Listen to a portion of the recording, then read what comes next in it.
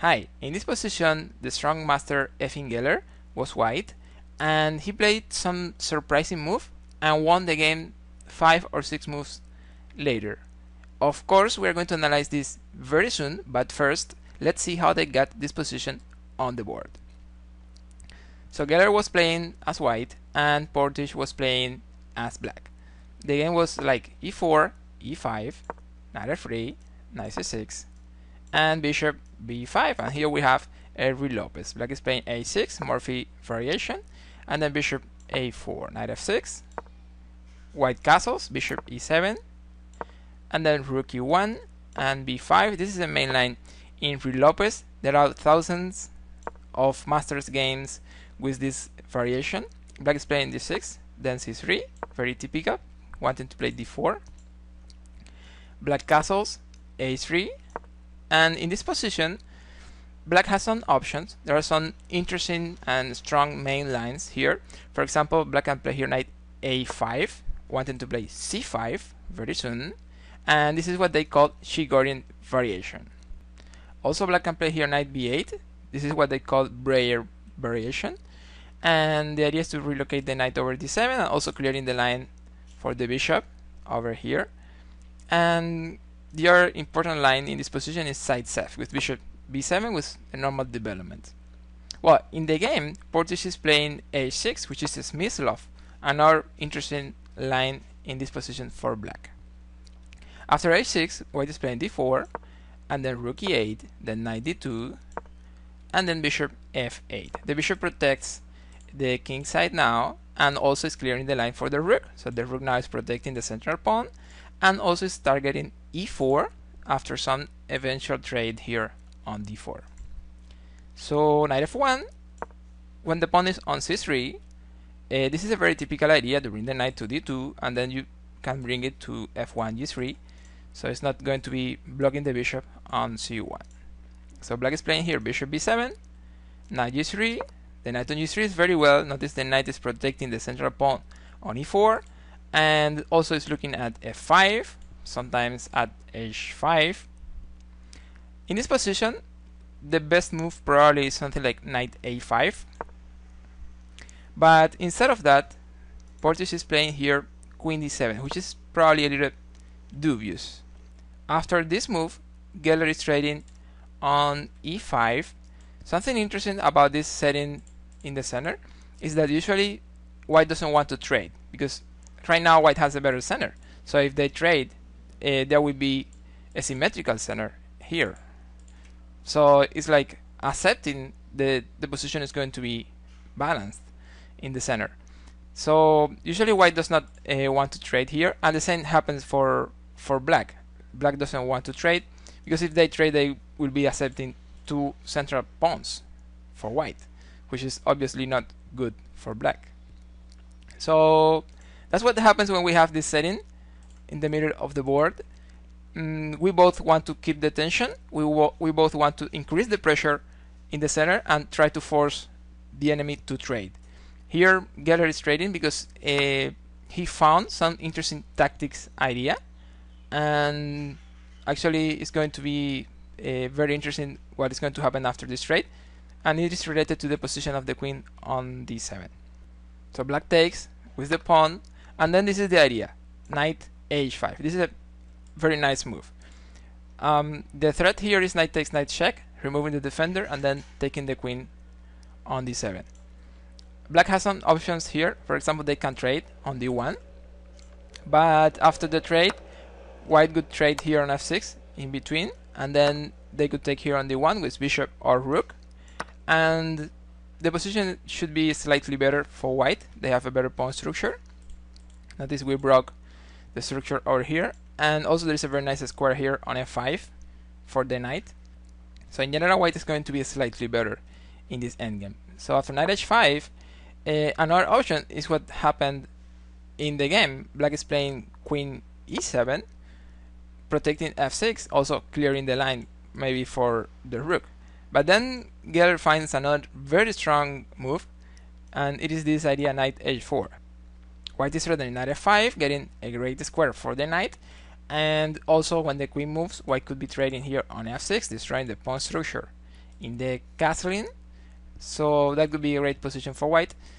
So black is forced here to capture on h5 notice that a move like rook a d8 is not really working because white can just play the same knight f5 and if black takes the queen then we check. Then we check again and then we take the rook on d1 so uh, white could be getting the exchange? So after knight h4 uh, black is forced to trade on h5 of course queen takes h5 this is very well for white because now the queen is in a very active position. And there is a very nice point of coincidence here on f7 after queen takes black is playing knight a5 which is a mistake. Probably a good move for black here was uh, knight d8 mm, wanting to play knight e6 maybe. But instead of that black is playing knight a5 and this is the position we had at the beginning of the video. Here Geller played something very strong. If you want you can pause the video and try to find it. I will explain it right now. The move Geller played here was the fantastic bishop g5 let's try to understand this move because right now black can capture this bishop with two different pieces. After queen takes bishop white is going to have checkmate in two moves? So after queen takes white can play queen f7 king goes to somewhere and then queen g8 that's checkmate. So in the other line after bishop g5 if black captures with pawn then there is this nice move very strong knight g6 taking advantage of the pin here so the pawn cannot really capture the knight. So after knight g6 white is threatening checkmate on h8 this is a mating net. There's no way to escape out of this net. So white is winning in this position. So black will have to move the queen but also remember there is a threat on f7 so the queen cannot go anywhere. The queen has only one square and that square is d7 so after queen d7 Geller continues with a very clear and also strong move. Rook a d1 just improving the rook and attacking the queen. The only move for black one more time is going to be bishop d6 and well the next move for white I would like you to try to find it. So if you want to pause the video. I will explain it right now. Geller is playing here in this position.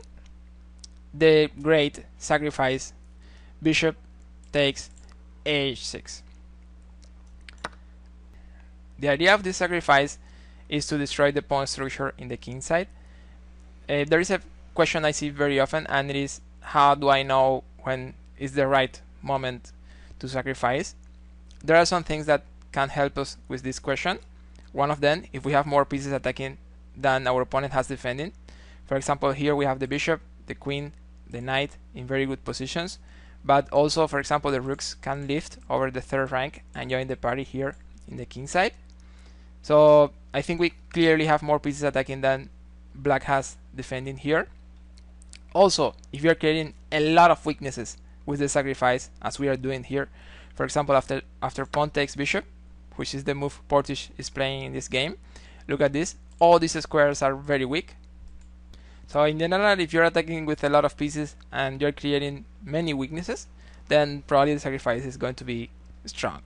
Well after pawn takes bishop white is playing here queen g6 notice uh, the bishop is spinning one more time. So black cannot take here. Black is playing king f8 and Geller is playing another very strong move here queen f6 of course he could take here on a6 and probably there are some ways to win but also we don't want the king uh, to go to the queen side. We want to make sure the king is staying there. So we have uh, all our pieces creating threats in that side of the board so queen f6 is very strong. We're avoiding any kind of uh, flight over here. But also we are threatening checkmating too because now we have a very specific threat with knight g6 and queen h8 checkmate. So after queen f6 black is playing here king g8 at this point there might be some ways to win but this move Geller is playing is really simple and at the same time very strong he's just playing rook e3 bringing the rook to the king side and this is just winning the game and Portisch resigned here well, uh, for example, if black plays something like king h7, there are some ways to win, but knight f5 is pretty simple. We're threatening checkmate. And after rook g8, we just checkmate here on h6. The question for today, do you sacrifice often in your games? Let me know in the comments. So this is the video I wanted to show you today. I hope you have enjoyed it and you have learned something new here. If it was like that, help my channel with some like. So that's it. Thank you so much for watching. Don't forget to subscribe if you haven't so you get notifications for my next videos. Never stop believing. See you in the next.